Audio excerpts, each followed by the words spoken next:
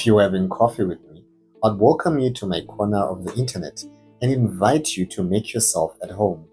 The weather has been very weathery of late. It's like experiencing all the seasons in one day winter in the morning, scorching summer at midday, late afternoon thunder showers, and freezing nights.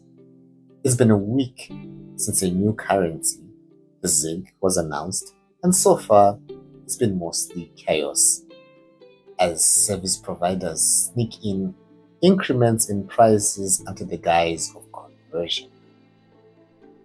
The hardest hit has been the commuting public, with change for commuter fares that normally costs $1 for two passengers, either just bumping up the price to $1 or inventive use of snacks and other knickknacks as change, or simply pairing off passengers to resolve the change between themselves.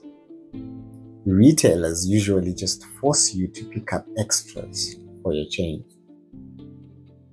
If you're having coffee with me, I'll tell you that part of the problem stems from that as soon as they announced a new currency, no one wanted anything to do with the old currency. Think of it like a game of musical chairs.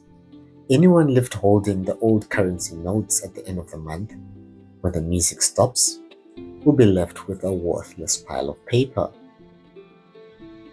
Why doesn't someone simply bank the old notes, you might be wondering?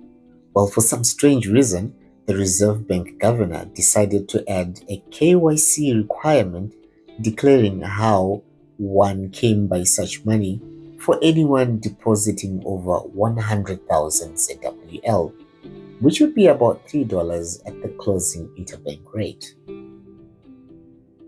The government has launched a blitz operation to arrest those who are refusing to accept the old Zimbabwean dollar notes, which remain as legal tender until the end of the month.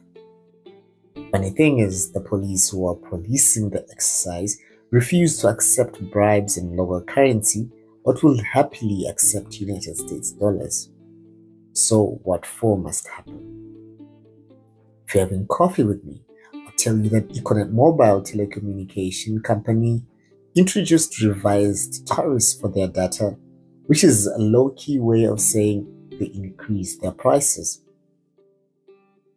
Now their prices for data bundles cost more than its cost in the United States dollar, which is a subtle way of saying they prefer you pay their services in United States dollars.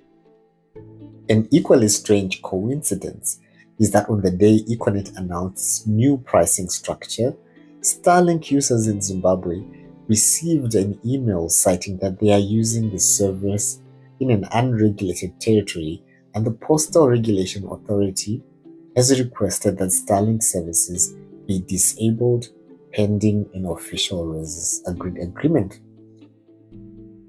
Imagine if you had forked out money to acquire a Starlink kit and overnight it threatened to become an expensive paperweight. As we say in Shona, Murombo Arowich Nenguo. If you're having coffee with me, I'll tell you that shopping in the supermarket is currently an interesting experience. Everyone is out with their calculators trying to figure out what's going on, and everyone has this slightly quizzical expression, including the cashiers who just smile as they explain how the price is the way it is. If you meet any random Zimbabwean in the street and simply say, Ah, the ZiGs, you'll have your ear chewed up as someone narrates their ordeals over the currency conversion. But of course, we try to lighten it with a joke and maybe catch a catchy jingle. What's been going on in the world? I've been focused on our domestic issues. It's like you open your eyes and realize maybe that a third world war might not be the distant and unlikely event as we tend to think. What's been going on in your neck